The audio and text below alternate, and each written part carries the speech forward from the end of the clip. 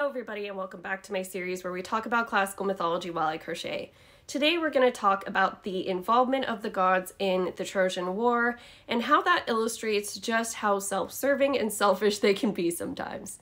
Achilles had left the battlefield at one point because he had gotten one of his war brides taken away and he decided he just wasn't going to fight anymore, which he knew would bolster the Trojan troops because you kind of recognize people by their armor out there. So when they don't see Achilles' armor, they're not as intimidated of the Greek forces. He also asks his mom Thetis to cash in a favor with Zeus so that the Trojans can win for a little bit and it'll really sting the Greek army that he's not there.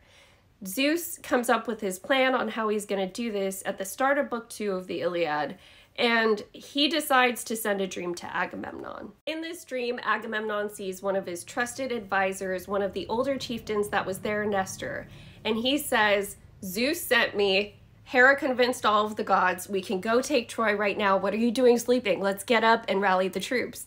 Agamemnon wakes up from this dream, fully ready to go fight, but first, he wants to test his army. So he tells them that they are going to retreat, that they're leaving for home, and let's pack up and go because we've been here so long, we should just leave.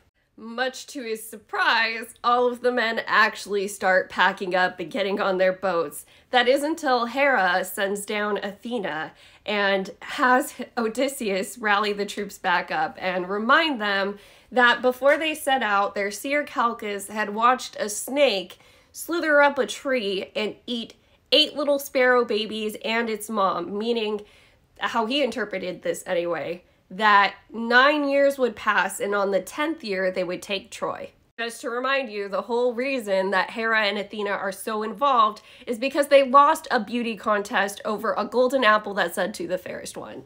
That is why they want a whole race of people taken off the earth. The real Nestor speaks to the troops and has Agamemnon arrange everybody by clan and says, let's go fight, let's stop being cowards.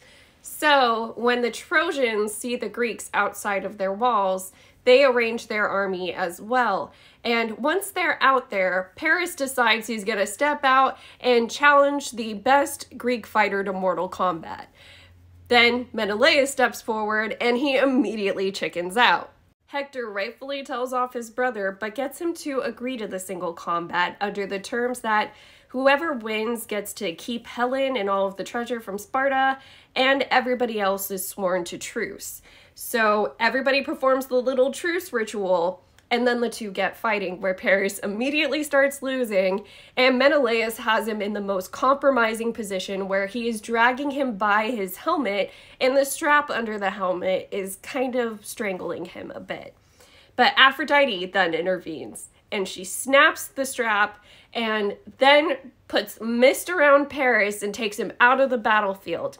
She then goes to Helen and says that she should go approach him. Helen's like, I don't want that, man. Where are you going to send me next, lady? You already sent me here to my ruin. What ruin are we going to next?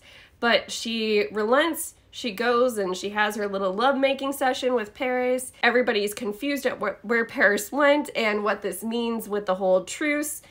They're just kind of like confused. And Athena takes the likeness of one of the Trojans and approaches an archer. And she tells this archer, hey, if you take out Menelaus right here, everybody's going to praise you. It's going to be such a cool thing. So, like, you should shoot an arrow towards him.